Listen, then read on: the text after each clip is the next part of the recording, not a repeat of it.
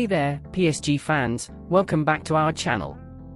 I hope you're all doing well. So, you may have heard the rumors that Lionel Messi may not be re-signing with PSG. And I'm here to tell you, it's true.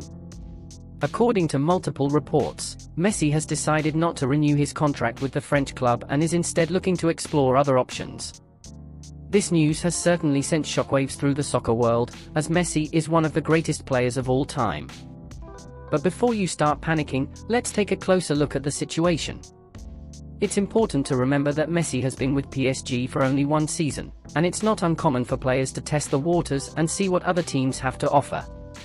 Plus, Messi is now 35 years old, so it's understandable that he may want to consider his options as he nears the end of his career.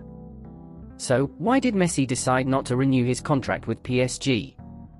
Well, according to sources close to the player, Messi felt that he didn't receive the support he needed from the club to achieve his goals he also felt that the team's style of play didn't suit him and that he wasn't able to play to the best of his abilities. Of course, this is all just speculation at this point, and we may never know the real reasons behind Messi's decision. But one thing is for sure, Messi's decision not to renew his contract with PSG is a big deal and will have a major impact on the world of soccer. So, where could Messi go next? There are a lot of possibilities, but one team that's been mentioned a lot is Manchester City.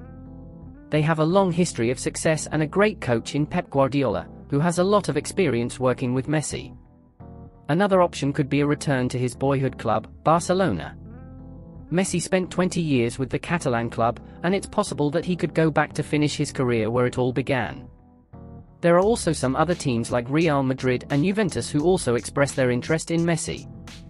Whatever happens, it's clear that Messi's decision not to renew his contract with PSG will have a big impact on the soccer world.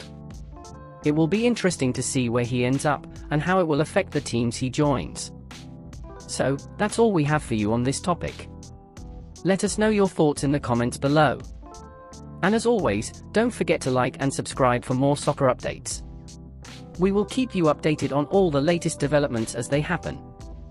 Thanks for watching.